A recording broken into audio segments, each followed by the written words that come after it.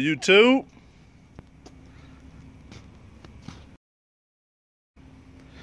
The video was about adding toolbox winch to the trailer. All this is brand new. First, we started with a receiver tube welded to the trailer frame right here. That's a little stabilizer. Welded uh, the winch plate onto another piece. So it's removable. Then we took a toolbox that we recycled and bolted it down. Had to use fender washers right there.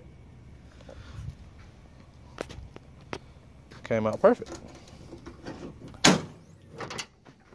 Got our battery, solenoid and everything hooked in.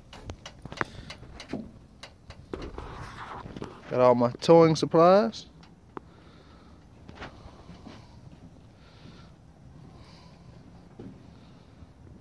It's only a 3,000 pound winch for now.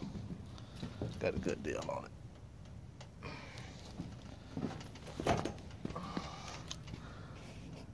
There's the receiver tube again.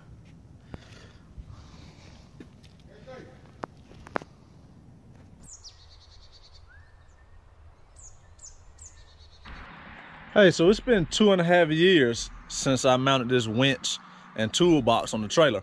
And uh, it's worked out very well.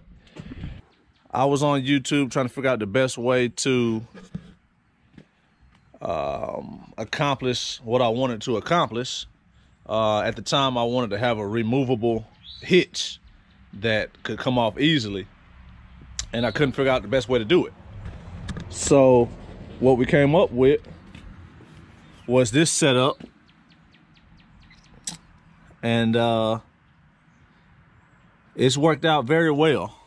Um, I've probably hauled over a 100 cars, maybe close to 200 on this trailer with that winch. Small as it is, it's only a 3,000 pound winch.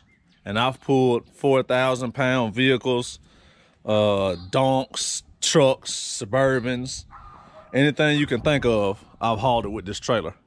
For anybody that wants to add a winch and toolbox to their trailer, if you have an A-frame like we do, then uh, maybe it'll help you out.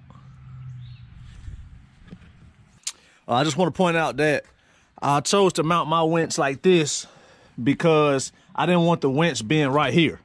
A lot of people put their winch right here and it just kind of takes some of the space off your trailer. Now I have an 18 foot, um, 18 foot trailer and I didn't want to lose any space right here in the front, especially if you have a lowered vehicle or or whatever. You may need to bring something all the way to the front.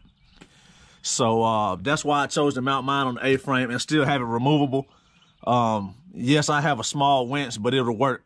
This process will work with any size winch that you put right there. You just have to get creative. Um, so if you're looking to add a winch to your trailer, um, consider adding it this way where you don't lose any trailer space.